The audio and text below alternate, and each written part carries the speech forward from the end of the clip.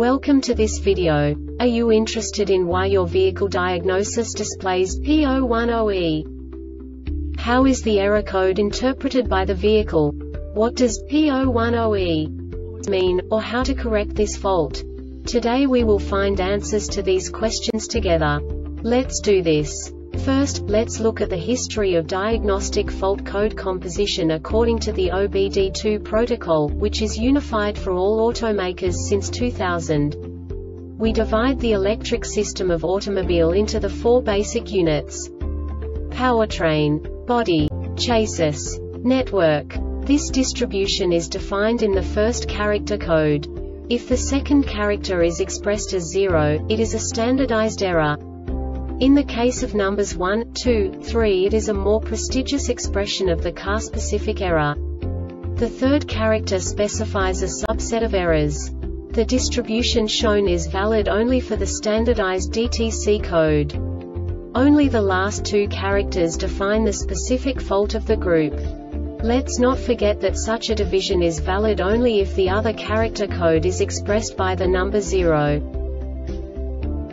Our website airbagreset.sk produces useful videos for you.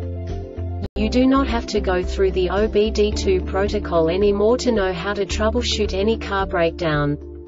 You will find all the diagnostic codes that can be diagnosed in a Audi vehicles. Also many other useful things. The following demonstration will help you look into the world of software for car control units.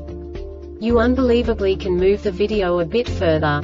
The error code is split into two bytes consisting of 16 bits. One bit is the basic unit that each computer works with. The bit has two logical states.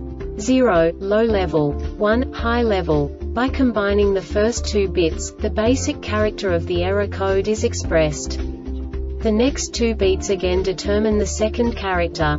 The last beat styles of the first byte define the third character of the code.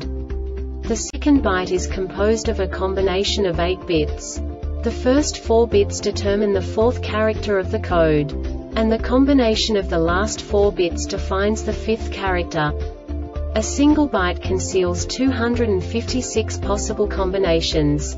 We now know in what way the diagnostic tool translates the received information into a more comprehensible format. The number itself does not make sense to us if we cannot assign information about it to what it actually expresses. So, what does the diagnostic trouble code P010E interpret specifically Audi car manufacturers? The basic definition is 2 MAF sensors MAF1 MAF and now this is a short description of this DTC code. Engine speed higher than 80 miles per hour. The Airbag Reset website aims to provide information in 52 languages. Thank you for your attention and stay tuned for the next video.